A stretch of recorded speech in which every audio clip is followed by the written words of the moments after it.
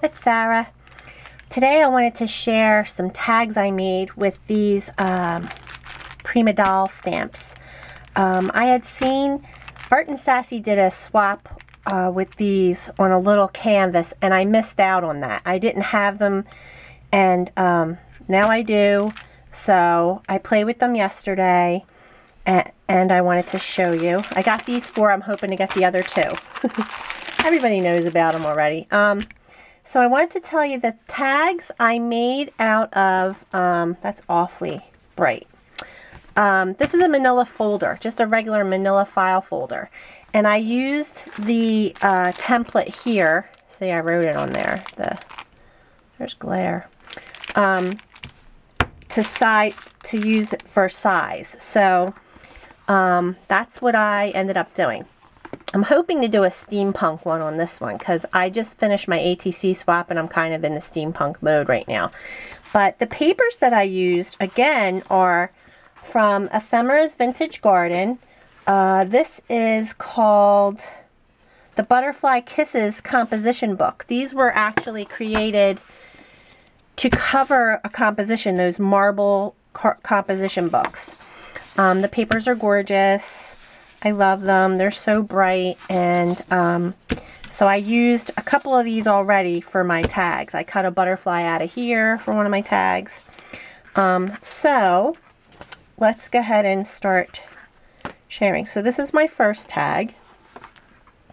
I covered the manila paper with the paper uh, completely. I just used, um, this is actually um, a K and Company paper that I put on the back. But this is the Ephemera's Vintage Garden paper. Um, I'm also liking the um, Fabrifix. This is Fabrifix. I think it, I thought it was called Fabri-Tac.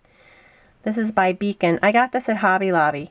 Um, I had seen a couple videos of people using that and instead of hot glue because I was having trouble getting my laces and fabrics and things to fit um, and not to fit, to stick.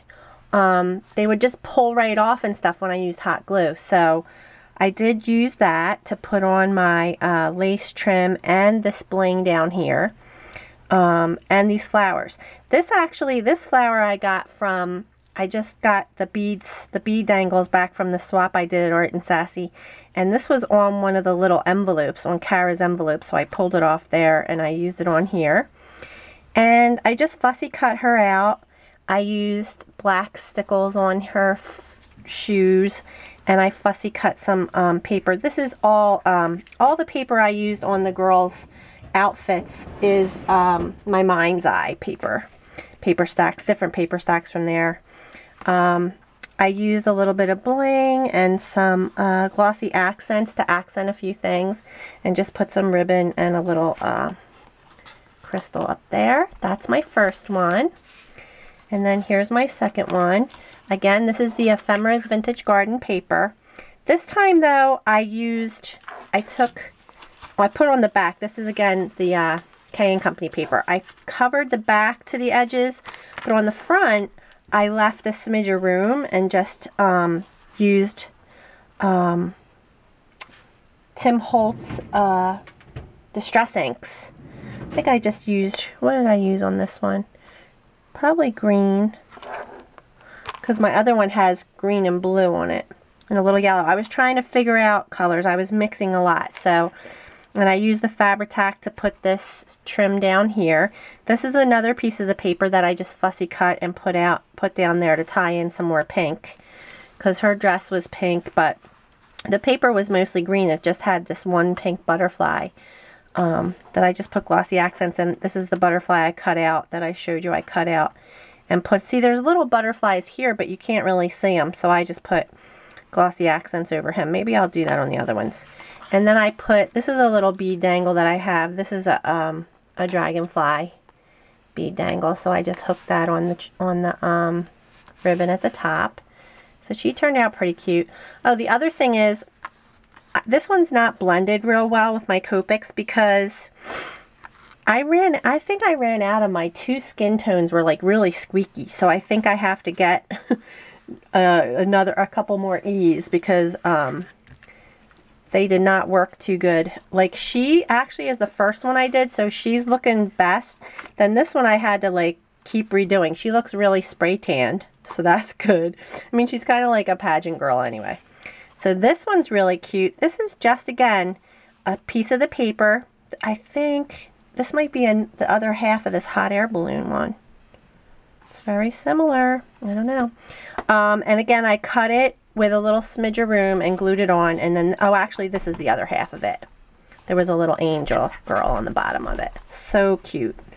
Um, and I just glossy accented the um, butterflies. Really, I didn't embellish very much on these at all. I just let the paper do the talking. I love that. Um, and then I love her little outfit. That's It's so fun to paper piece.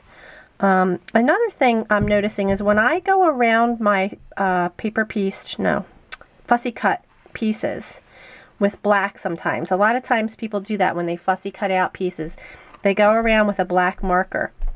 If you ever touch up again, if you try to go back in and like touch anything up, you'll pull the black off of there, which I don't understand. I don't know. It doesn't do it with the Memento ink that you actually stamp it with, but um, if you try to go back in, the black Copic comes up, so I don't know. But anyway, I really enjoyed these. I have one more. Where is she? This one. I think I'm going to try, I might make her my, um, my little steampunk girl, I think, because I have wings that I'm going to try using, but I have been playing with metal, so I'm going to try, I might do something with my, this is that uh, tape, the foil tape that you get at Home Depot and stuff, so I might do something with that. I'm kind of debating if I want to keep playing with, uh, what else did I do? Sorry, I got distracted. Um, so yeah, I've been playing with those, just making little tags and stuff. Um, but I really enjoyed these. They're so pretty. I think they belong on the front cover of a mini album or something like that. Maybe I'll make a canvas. Maybe I'll get a little more um, embellishments on there next time. But um, I hope you enjoyed. Thanks for watching. Bye-bye.